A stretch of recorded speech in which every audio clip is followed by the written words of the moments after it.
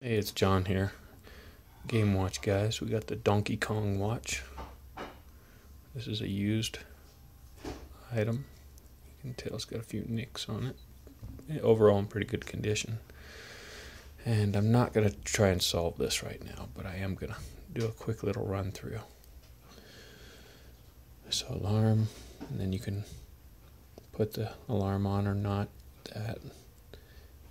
And then we'll go game and if we want to start the game with sound or without sound. So we'll start it with sound, and here we go. And the first part, as long as the barrel's not coming down on this side, we swing to get that item. So I'm going to keep swinging until I get the item, but the, you see the barrel got me. So I should have went over. It's actually a pretty challenging game. Now I gotta wait for the barrel to go on this side, and I go up the ladder.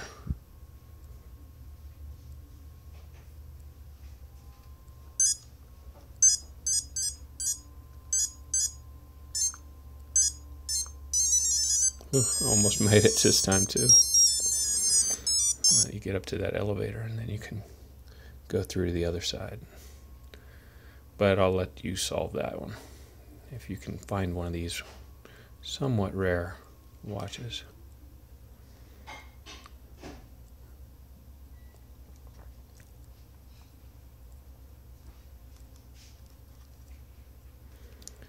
And there you have it.